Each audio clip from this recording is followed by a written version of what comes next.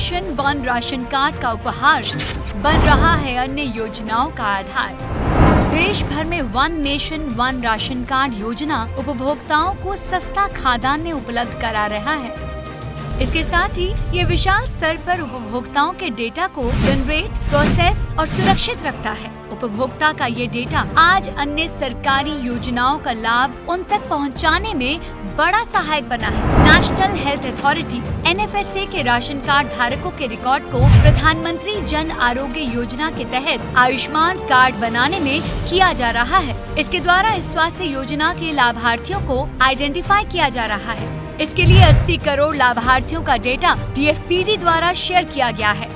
श्रम मंत्रालय शहरी क्षेत्रों में खादाने का लाभ लेने वाले प्रवासी मजदूरों की जानकारी ले रहा है तथा इसके उपयोग से अपने नेशनल डेटा को समृद्ध कर खादाने का लाभ सीधा प्रवासी मजदूरों तक पहुँचाने के लिए कर रहा है।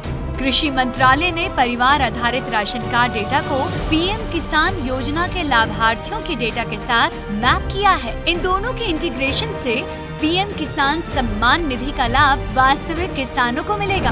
One nation one ration card खादाने की आपूर्ति करने के साथ ही अनेक अन्य योजनाओं के क्रियान्वयन तथा योजनाओं का लाभ वास्तविक अधिकारियों के पास तक पहुँचाने में अहम भूमिका निभा रहा है।